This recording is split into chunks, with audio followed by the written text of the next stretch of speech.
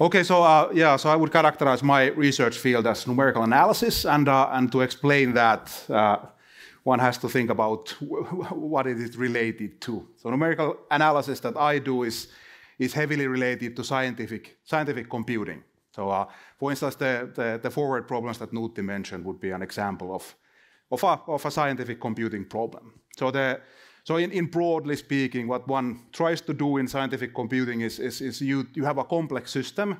So for instance, as I, I have worked with electrical engineers, where, where the, the system that they are interested in is an electrical machine, typically a, could be a transformer or, a, or an electrical motor. And the, the aim would be to create a mathematical model, first to create a mathematical model of that system or, or a device.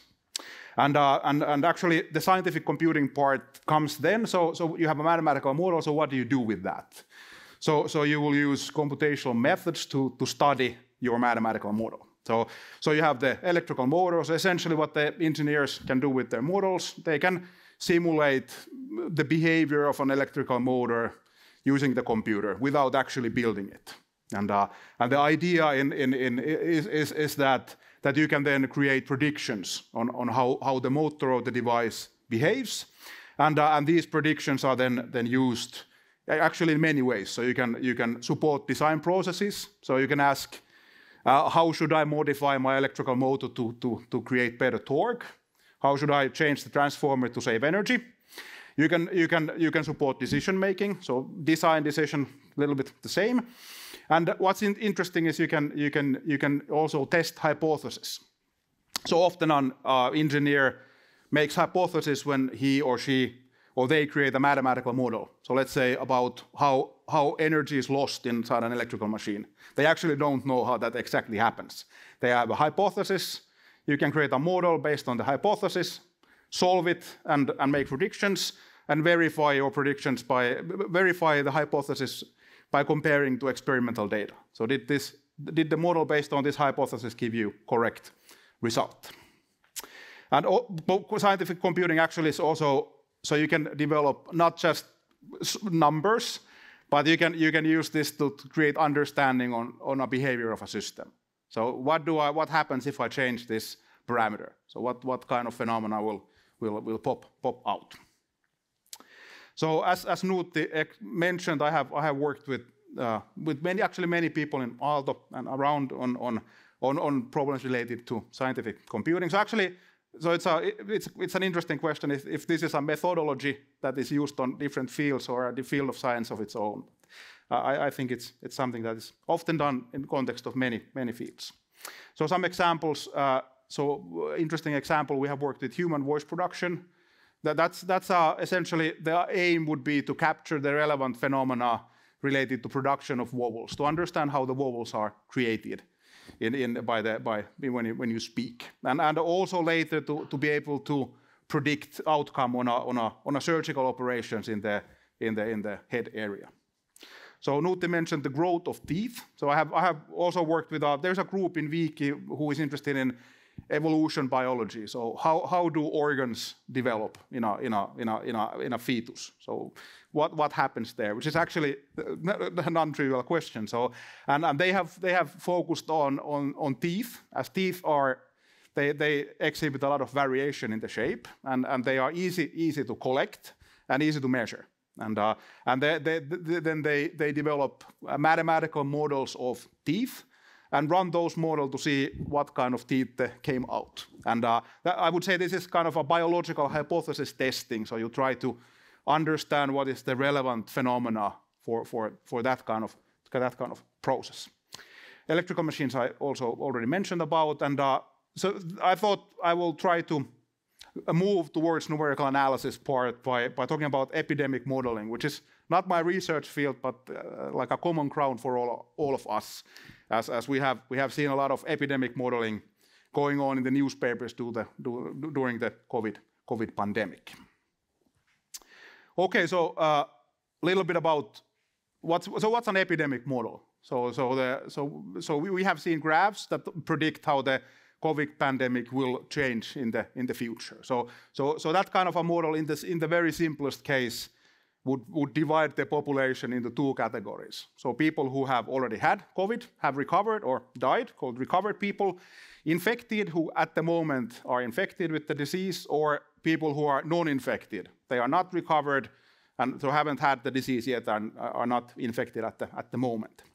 And, and, and uh, a mathematical model on, on how an epidemic proceeds would uh, it would tell you how people move, how, how population of people move between the categories.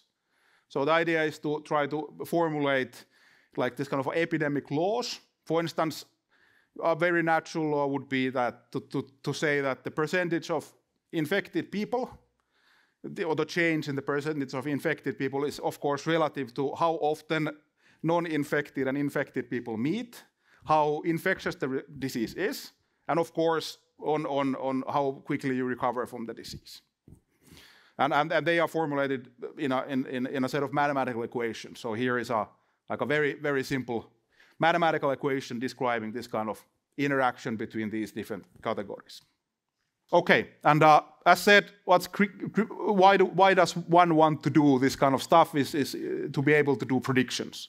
So you would like to, in the, in the case of COVID, people would like to predict how many people are infected at the same time and try to, let's say, try to, try to determine if, if, if the hospitals are overloaded or, or not. And uh, so, so mathematically, what, what does a prediction mean? So it means that we try to find three functions of, of time. So the functions describing number of non-infected, function describing number of infected, and number a function describing the number of recovered people or the percentage in the in the population. So here here are examples of those three functions. And uh, and, and of course, why do you do this? You, you, you do this in order to, so to say, uh, let's say, to, to, flatten the curve, to guarantee that at any time the hospital, hospitals can manage with all the, all the patients that they need to. So in my scenario, on day 30, 68% of the population is infected. So it's clearly a bad scenario. So then what one would do is you change your model parameters, namely, namely reduce encounters between people. So that was one of the one of the parameters of the mathematical model that I showed. And you redo the computation. You check out what would happen with a with, when you take measures that reduce number of encounters and, and uh, re redo the calculation, which would give you a let's say, a slightly flatter curve. So, so th this is the decision process, but hopefully utilizing more elaborate mathematical models that had, had been going on during the, during the COVID pandemic. So you try to, try to ask what will happen in the future with the, with the, with the number of infected people.